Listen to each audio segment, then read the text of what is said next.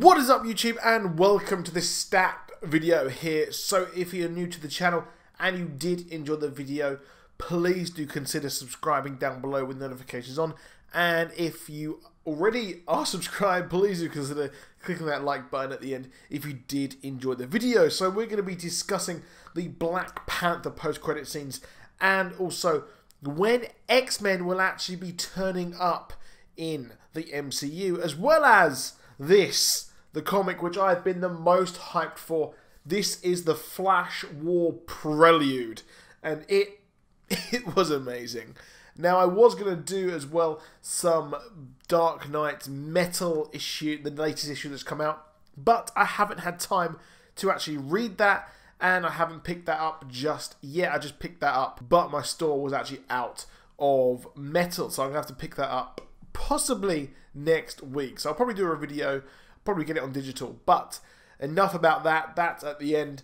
So the Black Panther post-credit scenes have been confirmed, and we are going to be having two post-credit scenes.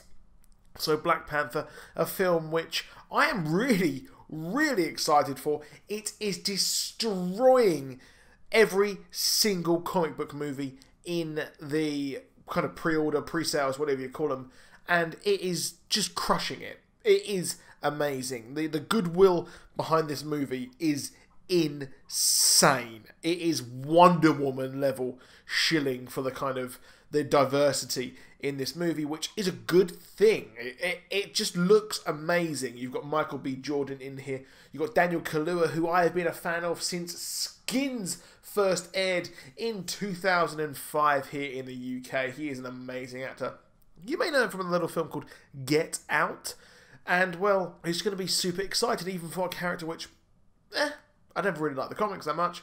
But the film has got critical rave reviews as well. But here, th this is a film which is transcending the MCU. This could, this is going to possibly be bigger than the MCU. This is it. This kind of Wonder Woman moment where it kind of transcends anyone who really cares about comic books and they just want to see a really fun and diverse film, which is what we're getting. But as MCU stands, shills, whatever you want to damn call a fanboy, a fanboy's a fanboy. Let's call him a stan or a shill. He's a, you're a fanboy. So what we've got here is the fact that there has been a anonymous tip on Reddit, which, if that shouldn't ring alarm bells, whether this is true or not, well, it does sound to me like this is a possible truth in the fact that the, one of the post-credit scenes will feature Tony Stark, and Tony Stark will be contacting T'Challa in Wakanda, warning of an interstellar threat. So we will see Tony Stark possibly turn up in Wakanda and then warn of Thanos, who is coming to Earth. And I expect his he's probably got like a hell of a load of satellites or something like that and he is able to recognize that there is a threat coming. And well, this then cuts to Thor and on his kind of lifeboat thingy that he's had at the end of Thor Ragnarok, we actually see Thanos' ship about to board the or kind of about to attack the the ship that the all the Asgardians were on. So the Shank Sanctuary 2, which is his ship, is actually going to attack this. So that that's really big as well. So there is a second one as well, which apparently is big. Apparently it will set up things moving forward after Avengers 4 and into the next Marvel phase. Well, what could that be? It's not Namor the Submariner. That's been confirmed that Namor will not be in this. Now, the, the, the obvious kind of one you would say is, well, obviously it's going to set up X-Men, Fantastic Four, or something like that. But Kevin Feige has said that X Men will not be in the MCU, at least until after 2020. He's mentioned that the deal has not been struck, the deal has not been done yet. They obviously it's got to go through all of the entire regulators and things like that, so it's a long, long, long, long way off just yet. So the X Men will not feature in the MCU until after uh, well, it's going to be quite a while until this ever they're ever going to feature. And even then, you've got to kind of get a director, you've got to get a script together, which I'm sure they're probably working on right now at some point. but at least you've got to get the whole production together, and it takes quite a while. You've got post production as well. So it will take a long, long time, probably not until maybe 2021, 2022, till we probably see an X Men movie in the MCU. But that's if they have an X Men movie. So they could at least bring the characters into existing movies or post credit scenes. So that's what they could probably do there. So the question is, who could this actually be?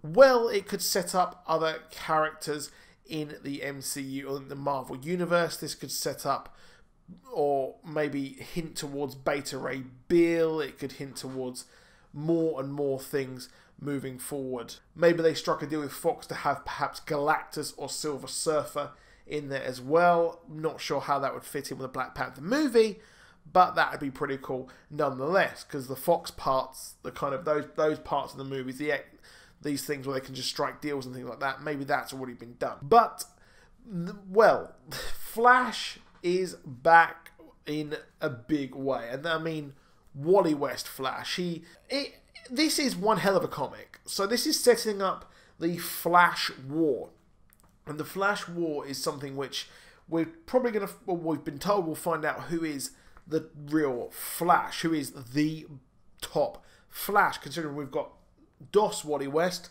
and we've got Barry Allen, and well, we've got Jay Garrick possibly as well.